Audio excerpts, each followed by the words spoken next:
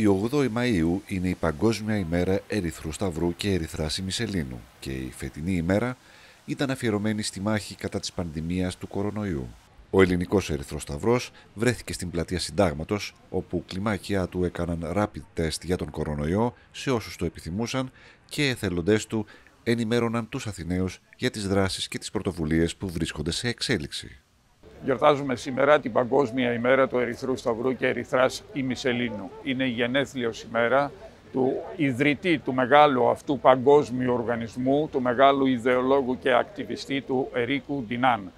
Την αφιερώνουμε στους χιλιάδες των άξιων εθελοντών μας και το άξιου μόνιμου προσωπικού, τους οποίους και θαυμάζουμε και επενούμε και χειροκροτούμε για το μεγάλο ποικιλότροπο και ιδιόμορφο έργο το οποίο προσφέρουν εν μέσω της φοβερής αυτής πανδημίας. Είναι οι αφανείς ήρωες, είναι η πραγματική αρρωγή της πολιτείας στο δύσκολο αυτό έργο καταπολέμησης της πανδημίας. Είμαστε υπερήφανοι για αυτούς, για την τεχνογνωσία τους, για την εμπειρία τους και μας βοηθούν να δημιουργήσουμε το νέο Ερυθρό Σταυρό, αυτόν τον Ερυθρό Σταυρό που πραγματικά θέλουν και επιζητούν όλοι σύγχρονο, καινοτόμο, διαφανή, αλληλέγγυο. Τους ευχαριστούμε θερμά και τους χειροκροτούμε και θέλουμε το χειροκρότημα αυτό να ακουστεί σε όλη τη χώρα.